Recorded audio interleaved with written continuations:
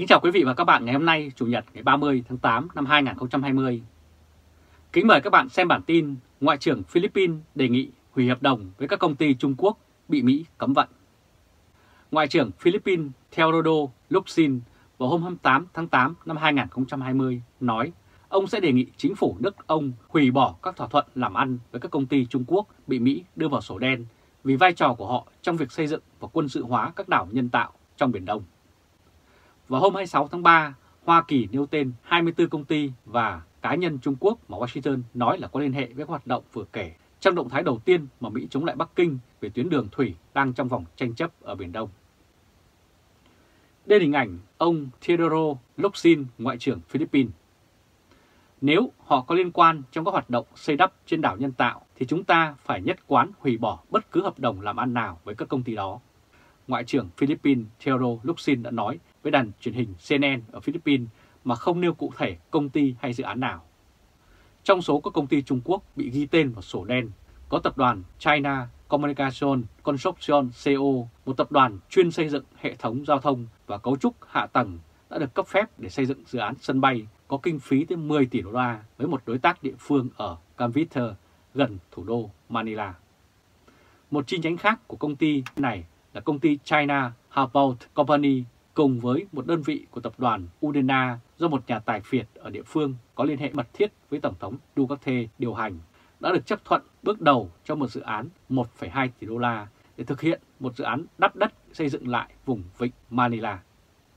Thống đốc Cavite nói ông sẽ chờ quyết định của ông Duterte trước khi tiến hành dự án. Nếu Tổng thống nói, nếu Bộ trưởng của Bộ Quốc phòng nói đó là một rủi ro về an ninh khi thỏa thuận làm ăn với họ, thì tôi sẽ lập tức chấm dứt thỏa thuận. Ông Remola đã nói với đài ANC như vậy.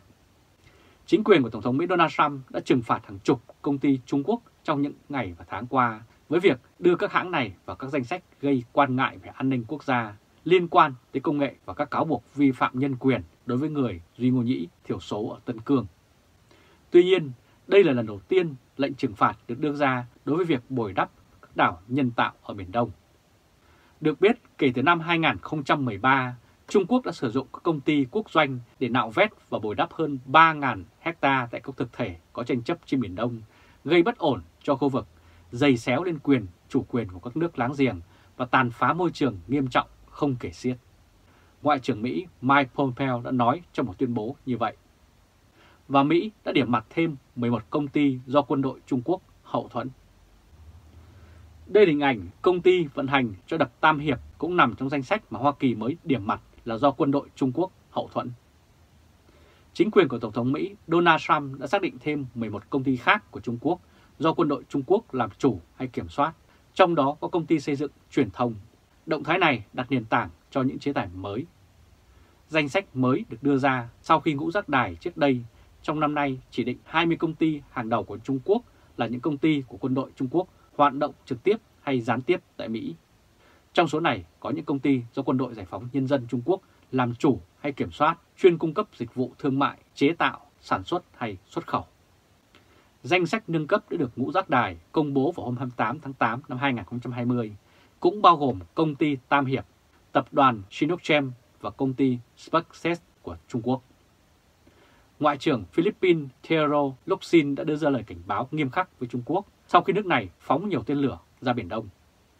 Ngoại trưởng Philippines vào ngày 28 tháng 8 năm 2020 cho biết ông có theo dõi cuộc tập trận của Trung Quốc xung quanh quần đảo Hoàng Sa thuộc chủ quyền của Việt Nam ở Biển Đông.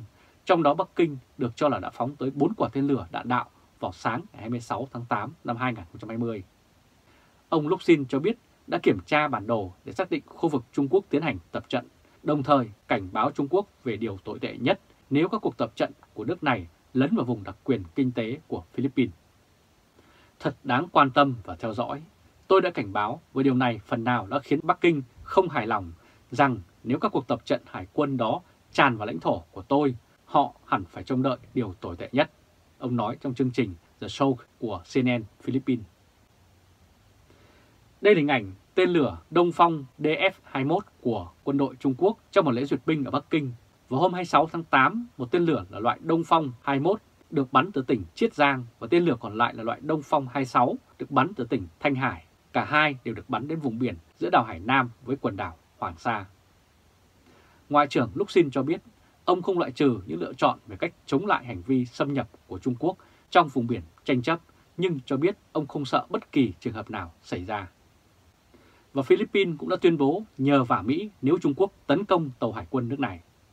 Đây là lần đầu tiên dưới thời ông Duterte, Philippines công khai tuyên bố sẵn sàng kích hoạt hiệp ước phòng thủ chung với Mỹ nếu đối mặt với một cuộc tấn công từ Trung Quốc. Xuất hiện trên kênh truyền hình ABC và CBN News hôm 26 tháng 8, Ngoại trưởng Theodore Locsin của Philippines nói Manila sẽ dùng tới Hiệp ước Phòng thủ chung, viết tắt là MDT, với Mỹ nếu Trung Quốc tấn công các tàu hải quân của Philippines.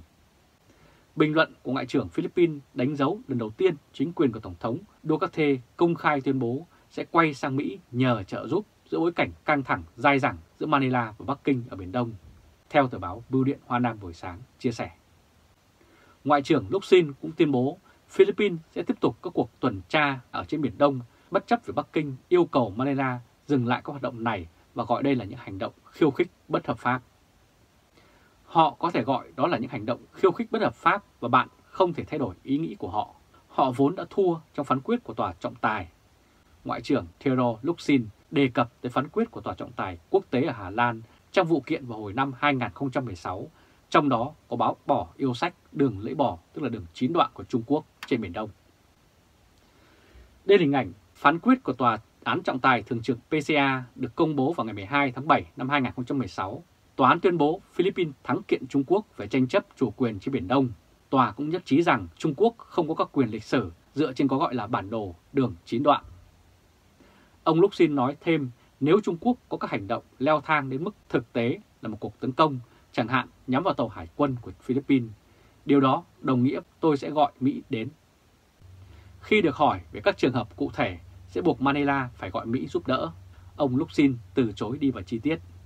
Tôi sẽ không thảo luận về điều đó vì bản chất của Hiệp ước phòng thủ là tình trạng không chắc chắn, ông Luxin giải thích.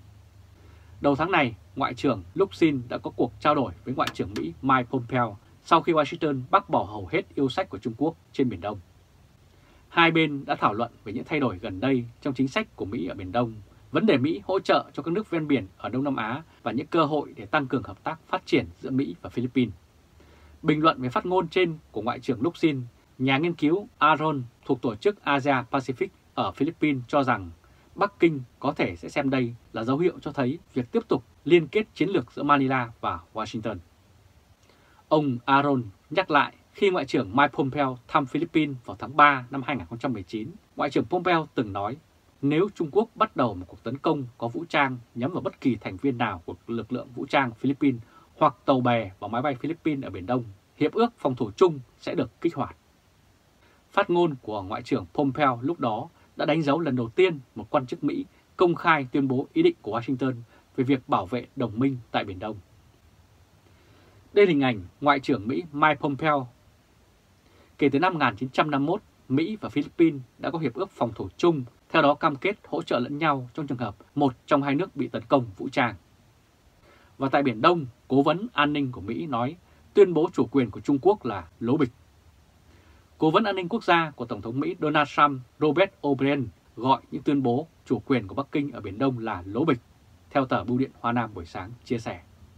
Ông Robert O'Brien cũng thông báo cuộc gặp sắp tới với những người đồng cấp tại Nhật Bản, Ấn Độ và Úc để tăng cường quan hệ đối tác quốc phòng trong khu vực. Ông Robert O'Brien nói rằng tuyên bố chủ quyền của Trung Quốc đối với gần như toàn bộ Biển Đông, nơi Việt Nam, Indonesia, Philippines và các nước Đông Nam Á khác tuyên bố một phần chủ quyền, đã bị tất cả các nước lớn, tất cả các nước có biển đảo bác bỏ. Phát biểu của ông O'Brien được đưa ra trong một cuộc thảo luận trực tuyến giữa Paula, Phó Chủ tịch Trung tâm COS về chiến lược và an ninh của Hội đồng Đại Tây Dương. Tuyên bố của Trung Quốc đã bị một tòa án về luật biển bác bỏ và bây giờ họ tham gia vào các cuộc tập trận quân sự ở những vùng biển mà họ coi là của mình.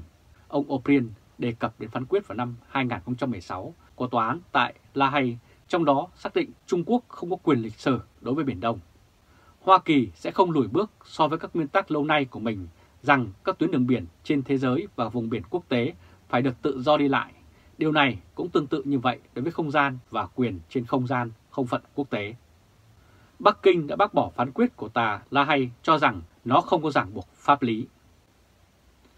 Đây là hình ảnh ông Robert O'Brien, cố vấn an ninh quốc gia của Tổng thống Mỹ Donald Trump. Ông O'Brien cho biết các cuộc họp cấp cao của Bộ Tứ bao gồm Mỹ, Nhật Bản, Úc và Ấn Độ đang được lên kế hoạch và Ngoại trưởng Mỹ Mike Pompeo sẽ gặp Ngoại trưởng của các nước này trong vòng tháng 9 và tháng 10. Ông O'Brien cũng nhắc đến hệ thống giám sát và tính điểm công dân ở Trung Quốc. Bạn có một Đảng Cộng sản Trung Quốc là người thừa kế Đảng Cộng sản Nga của Stalin, ông nói.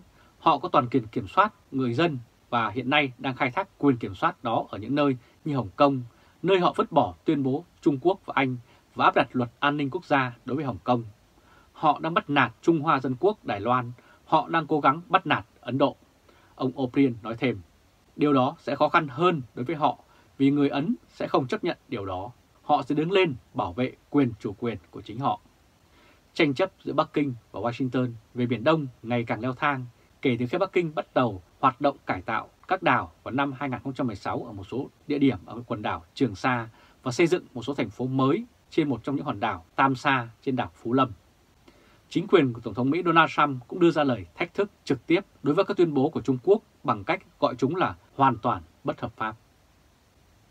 Quý vị và các bạn vừa theo dõi chương trình truyền hình trực tiếp của Lê Trung Khoa, Thời báo.de ngày hôm nay Chủ nhật 30 tháng 8 năm 2020 với bản tin Ngoại trưởng Philippines đề nghị hủy hợp đồng với các công ty Trung Quốc bị Mỹ cấm vận. Quý vị và các bạn hãy chia sẻ video này cho nhiều người biết và bấm nút theo dõi YouTube và Facebook của Thời báo.de để luôn nhận được những bản tin mới nhất, nhanh nhất và trung thực nhất. Từ Berlin, Cộng hòa Liên bang Đức, chào các bạn và hẹn gặp lại các bạn vào bản tin lần tới. Trung Khoa Thời báo.de